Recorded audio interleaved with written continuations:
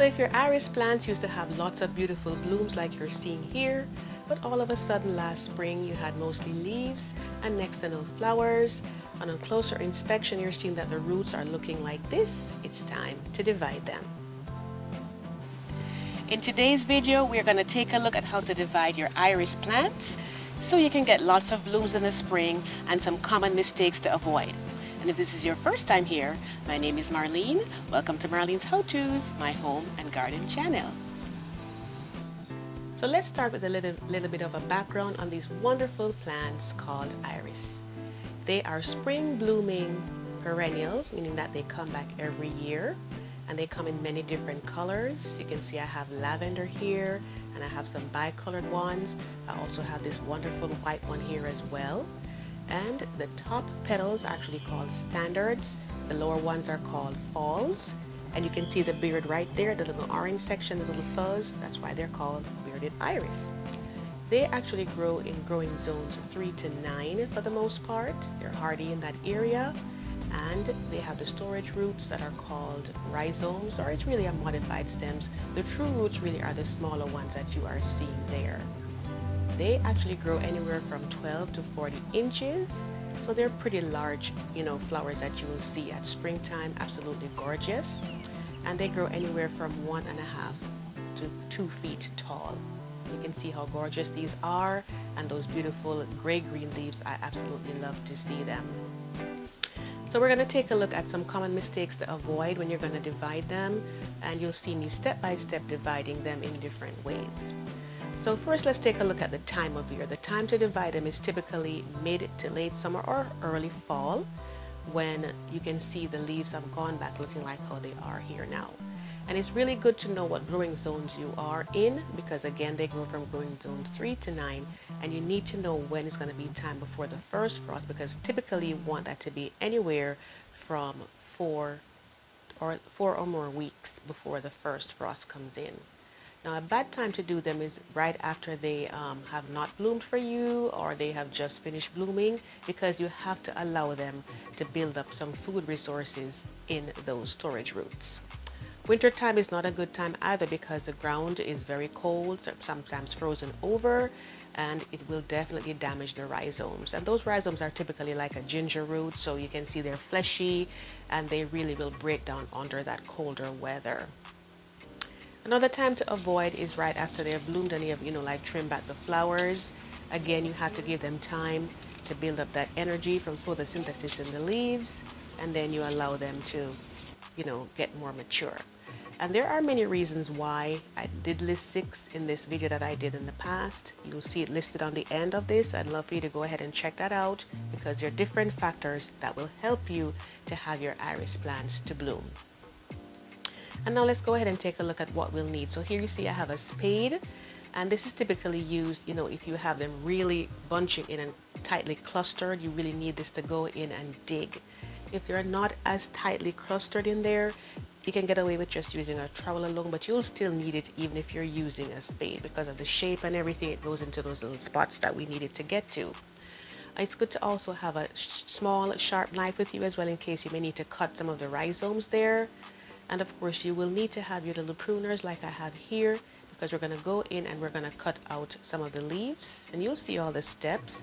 This is actually a nice one that I, um, you know, like to use and I'll leave it in the description box, a link where you can get it on Amazon. And they need to be sharp and clean. And speaking of clean, what I typically do is whenever I'm using things to prune or to like cut parts of my flowers in my garden, fruits or veggies as the case may be, I like to give them a little cleaning with some rubbing alcohol. This is optional. You can use soap and, water, soap and water if you like. But this is just to make sure that you're not spreading disease from one plant to another. So you can see I did it for the pruners and I'm also doing the same thing for the knife as well in case I'll need to use it. So if you're looking in here, right, you can see the rhizomes that they're kind of close together right here. You can see one going off to the side in different directions. And this is, you know, they're competing for food, so it's not a good spot for them to, good place for them to be. This one here is even worse. These are actually overlapping, almost like, you know, like a, um, you know, like a plaid pattern in a sense, one lapping over the other. That's not good for them at all. So the first thing we're going to do is to make sure that we are watering them before we go in and divide them. So this is something that you want to do. Don't go in you know, and try to dig them out in summer when the ground is dry and hard. It's going to break them up and it's going to be, you know, very difficult for you. So that's the first thing to bear in mind and something to avoid. Then what you want to do is to go in and, you know, just take a look at the leaves and give them a trim. And you want to, you do want to leave some leaves on top of there. So don't take all the leaves off and just go in and start trimming them off. So that way you can actually see exactly what you're working with and you know the best way to approach it. So I'm just going in here and taking my time and just cutting them back. And you always want to make sure that you leave the little center part there where the leaves are because that's where they're going to be coming up from and we do need to leave some of the leaves behind. Usually we do them in like a, a little bit of a fan shape because you're going to be needing them to produce foods when you just put them down. So here we are. Take a look now and see everything that we did as far as trimming them back. You can see how they are. That crisscross pattern, some of them very close together. So they really, really needed to be divided. And especially if the ground is a little bit compacted where you are, even more so, you know, they can be affected by leaf borers if there's a lot of mulch on them and things like that. So it's a good idea to divide them. And typically that's done every four to three to four years or so. So if you have a softer area, it's not too compacted, very lightly packed soil, you can just go in with your trowel and it should be easy enough for you to do. And you just take your time, or if that's all you can manage, you can just still, you know, go in and do it either way. Just slowly ease it out, you know, use it to ease out the um, the rhizomes that you're seeing there and then gently just lift them out as you see me doing right here. You always want to inspect them to make sure that they're looking reasonably healthy. If they're not, then you don't want to discard them. So over here now my husband is going in with the spade and digging in because this area it's a little bit um, compacted here and these have been divided. These are divided maybe about I think four years ago, so it's high time for us to do it again. And they've been so good to me, they still bloom so well, but you know, it's a good practice, you know, to go in and do them at that point, a point in time. So here you can see that he's going in and just lifting it out and you can see how everything is, you know, kind of bonded together. And we're going to go ahead and break them apart.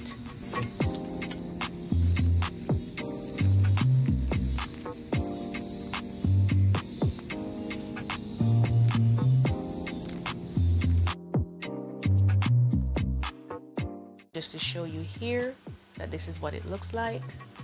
You can see the long roots extending out.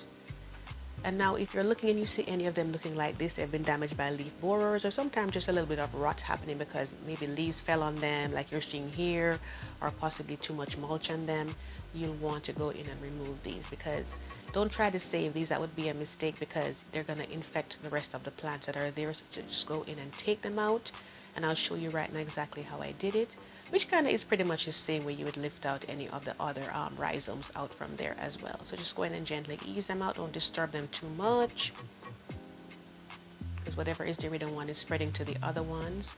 And just take your time and lift them out.